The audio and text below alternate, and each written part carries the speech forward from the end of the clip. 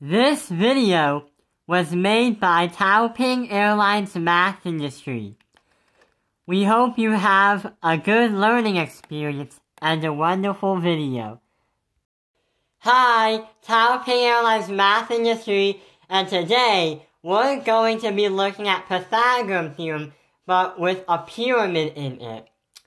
With Pythagorean theorem, we're supposed to be doing, um, we have a message coming in from uh, a Chinese emperor named uh, Qin Shi Huangdi, so let's go ahead and pick that up. Looks like it's a voicemail from the first emperor of China. Since the moment he became king, Ying Jian has planned for his own death. A tomb is which by tradition will contain replicas of his most precious possessions, including his army. Hmm. Good. That tradition will continue. Very good. But on a scale no one has ever seen before. How big is this supposed to be?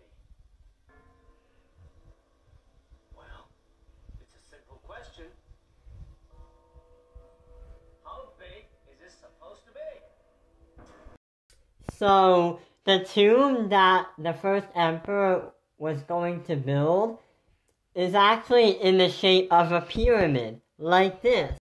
Right there, that's the period, right there. So, you were working on the tomb with another worker, then he gave you a diagram of this. He measured the tomb with these numbers on it measured in meters. The only problem is that they're missing how tall the pyramid is going to be. So, at least we have these two units, but the only thing that's missing that the emperor wants us to know is how tall is this pyramid going to be?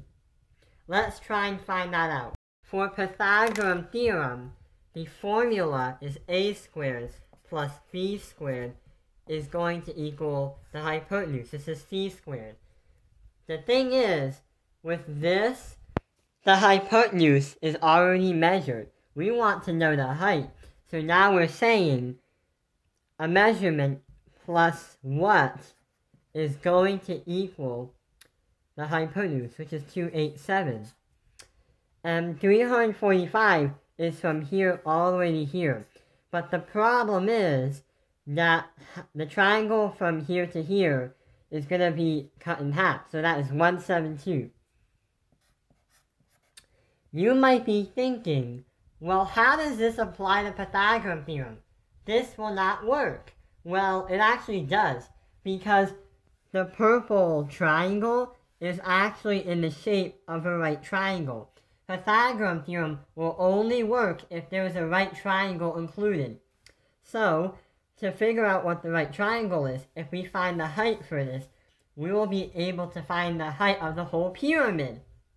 And, since there are no numbers that have a number 2, or that have a square in them, we don't even do the, the squares, because we ignore them, because they're not in the square root forms.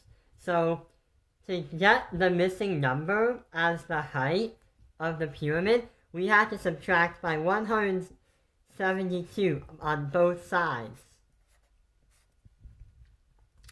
Then, if we do that, we would get 115 meters as the answer for how big the pyramid for the height is going to be. Will this work?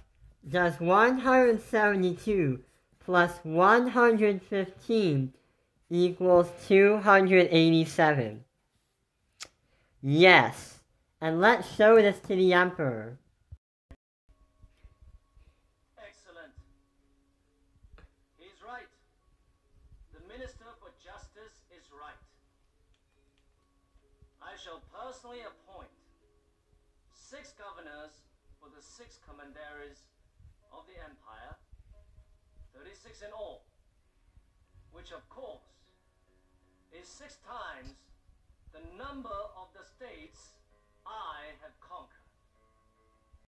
Ah, did I mention six is my favorite number. Nice! The Emperor was very pleased with the dimensions of his new Imperial tomb. Thank you for watching Taoping Airlines Math Industry. Like and subscribe. Taoping Airlines Math Industry, mission out.